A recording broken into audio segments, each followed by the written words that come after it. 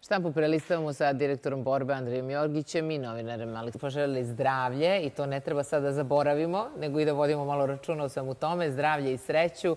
E, tako da, dobro mi došli ovako kao prvi gosti u novoj 2023. Bolje vas našti. Tu na e, RTS-u gde igrom slučaja vi na ulici i baš ste to poželeli, je li tako? Tako je, tako. I onda e, videla sam da ste vreme posvetili našem narodu na Kosovu i Metohiji, to je zaista jako važno. Jeste. Vršila i prethodnu godinu kao i rusko-ukrajinski sukobi.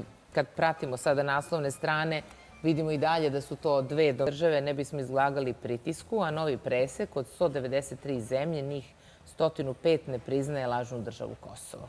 To su informacije koje dele večeri novosti. Kosovskih policajaca sa Jarinje slavili su duge cevi i zastavu Albanije, ali to ćemo za nekoliko minuta. Idemo do naše reporterke Lene Bursać koja čitave noći zbog alkoholisanog stanja.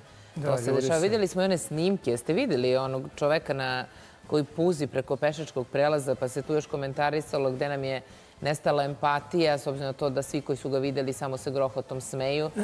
niko, niko da mu pomogne. Da. Cevi i zastavu Albanije, fotografija takozvanih kosovskih policajaca sa Jarinja i takođe u novostima je i veliki intervju ambasadora Srbije u Sjedinjim američkim državama Marka Đurića. Kaže i u Vašingtonu vide Kurtijeve maligne poteze. Pa upravo ova fotografija... Višnika pokazuje da razume nezadovoljstvo Srba i čitavu situaciju u kojoj se Srbija nalazi. Moskva je Moskva zatražila od zapadnih zemalja da izvrše pritisak na takozvano Kosovo, naterajte Prištinu da odustane od militantnih planova, tako da ćemo sa tom temom nastaviti odmah posle kratkih vesti. Važnih tema za komentar. Hajde da, da prokomentarišemo ovo što sam rekla pred e, vesti. Moskva zatražila od zapadnih zemalja da izvrše pritisak na to. Otkrivamo podvig naše vojne industrije. Srbija pravi super trop, pogađa u milimetar na daljini od 70 km. E, neke stvari se ne ostaju te, tek tako, već se sve drži pod kontrolom. Jeste. Vestima za ustavljanje negativnog demograf, demografskog trenda biće najvažniji cilj države u ovoj godini. Borba za bebe nema cenu i pored novčane pomoći i stambenih olakšica majke dobijaju duže porodiljsko odsustvo. Videli smo uh, ministarku Tepavčević uh, koja je pričala o tome kako za prvo, drugo i kako za treće dete, a premijerka kaže životni standard i više dece činit će jaku Srbiju. Naravno da demografija već duže vremena... Neko bude u premišljenju kada ostane u drugom stanju, da li pravi moment, koliko ima godina, da li završio fakultet. Ja kažem, zaista ne znam ni jednu osobu na ovom svetu koja se pokajala što je odlučila da rodi. Može samo da se pokaje ukoliko nije odlučila. I, I uvek se setim priče iz svog detinstva, iz osnovne škole. Moja drugarica koja je sedela sa mnom u klupi, njoj mama rodila sa 16 godina i njeni deda i nana su saznali tek kada je bila sedmi mesec trudnoće i onda se su je poslali u Sloveniju, da znate već kako to ide da se porodi, ali sećam se rečenice njenog dede koji kaže bolje dva života nego ni jedan i to je zaista bilo blago i najveća ljubav u toj porodici zbog takve odluke koja je postojala.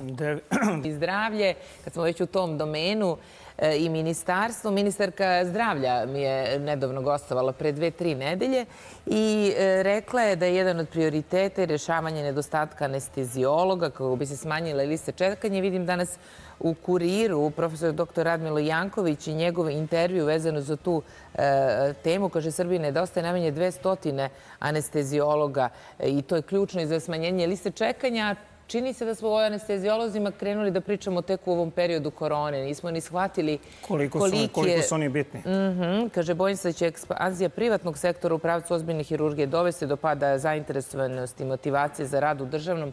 E, to je i ministarka takođe govorila. Dalje imamo još nekoliko tema svetskih koje ćemo obraditi. A novogodišnja euforija o kojoj smo pričali donela je sa sobom i povećanu upotrebu alkohola. To je malo pre Lena i proveravala u grane. Naravno, haos ovih dana. Svi moraju sve da kupe baš ovih dana. I videli ste onaj nemili događaj da je dete bilo u prisustvu roditelja. Mislim da ima dečak pet godina i da je polomljena butna kost, da je u Tiršovoj jer je neko dok se isparkiravao nije video dete i povredio ga. Odgovor put. Da primetim ko je pod dejstvom alkohola. Znate što se prestrojavaju sve vreme, što nemaju vremena, što žure, što su mnogo bolji vozači od svih ostalih. Pa ti što žure, bolje da uzmu da završe obuku. Za 2020. Evo, napravili smo uvod u temu za 8 sati. Rusko-ukrajinskim sukobima zaista ne nazire se kraj.